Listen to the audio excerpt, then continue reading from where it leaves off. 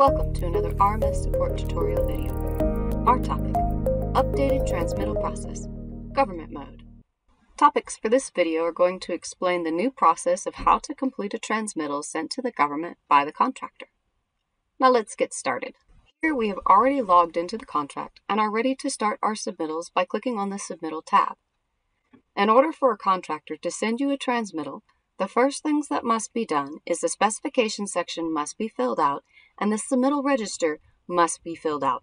For a detailed description of how to set those up, please see the link in the description box below. Going into the submittal register, this is where you will see the status of all the submittals in the status column on the right, and a history of each item by clicking on the item and looking at the history section at the bottom of the screen. It shows when the item was submitted, how many times it was submitted, and other pertinent information. Now, hit the back button and go into the transmittal log. The first screen you will see is the transmittals in review. However, if the contractor has just sent you the transmittal, you must first go to Pending Government Receipt section to enter the date in which you received the transmittal before you can review it. To do this, double-click on the date box for the transmittal to bring up the date picker for the date and choose the correct date. Then click anywhere else in the screen to move it from this section into the Transmittals in Review section. Now, click on the Transmittal in Review tile at the top, find the transmittal to review, and double-click on it to open it. From here, you'll need to make sure that what the contractor sent you is what you were expecting. For example, ensure that the classification and the review due dates are correct. Please refer to your district's policy for how to determine what those should be. The next thing to look at are the remarks section. Any remarks that you wish to send to the contractor, you can put in here, and any remarks from the contractor will show up in here. Click on the Secondary Reviewer Remarks tab to view or add any required secondary reviewer remarks. To add a secondary reviewer, click on the Add button to bring up a staff lookup view. We recommend that you search for the person's name in this search box that is up here to make it easier for you to find the secondary reviewer. Once selected, click OK. Now the secondary reviewer can come in, write their remarks, and enter their dates. The review date can be entered by another person. To enter the review date, click on the date icon to choose the correct due date. Then, the secondary reviewer can enter their remarks, and once finished, click on the date icon for the review completed date to select the date completed. Next, you will need to look at any attachments the contractor has sent in the transmittal. There are two places in which the contractor can attach the attachments. One is up here with each submittal item, and the other place is to go into the document package down here. If you're going into the document package, once you open it up, you will see the 4025 the contractor sent, plus any other files they attached here. You can also see how many files are attached and what types of files they are by looking at these little sort tiles up at the top. Click on the back button to return to the main transmittal screen, and then click on the attachments to view any files added there. Go to the contractor document package at the top and double click on the document package to open it. Here you will see a list of all of the files that is in this document package, and you can open them by either double-clicking on them or single-clicking on them and then choosing the Edit button. You can choose to save the files by single-clicking on them and then clicking on the Save Document to File button. You can also see if the documents have been signed or not by looking at the Signature Status column. If you need to manually sign as either the contractor or the government, you can click the checkboxes down below respectively. If you do, the signature status will change to attested signature.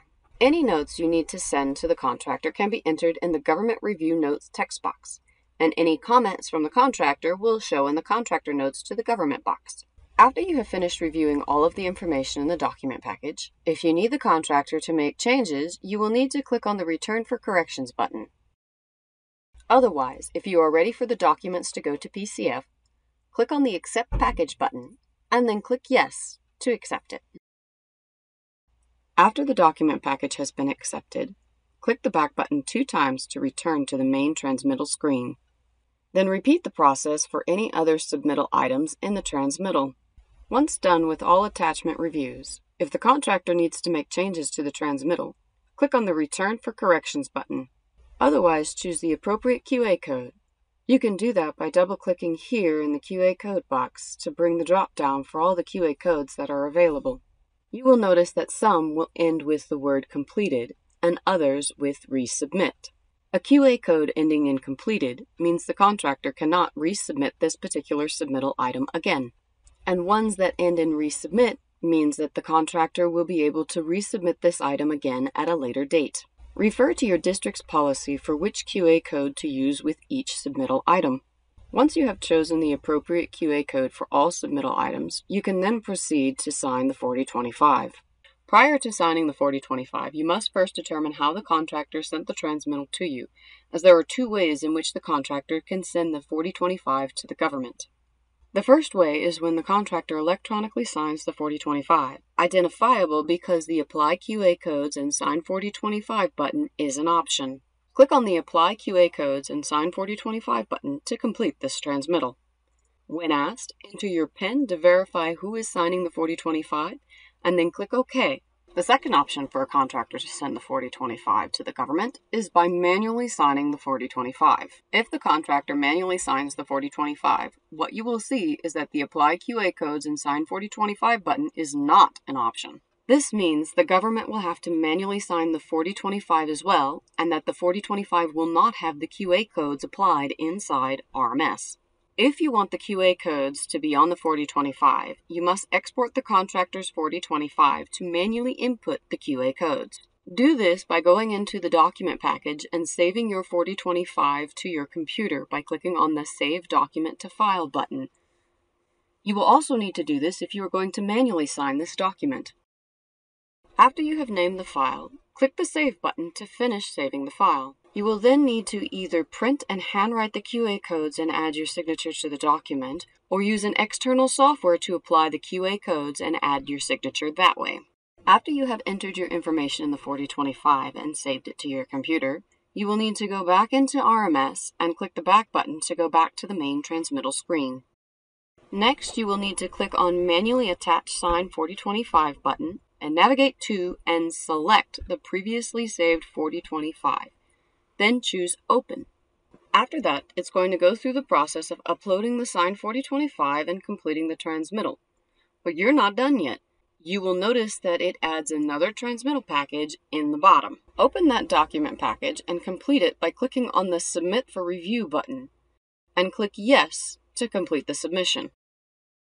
Now, select the 4025 and then check the manually signed by government checkbox to change the signature status to attested signature. Then click on the Accept Package button and Yes to complete this document package.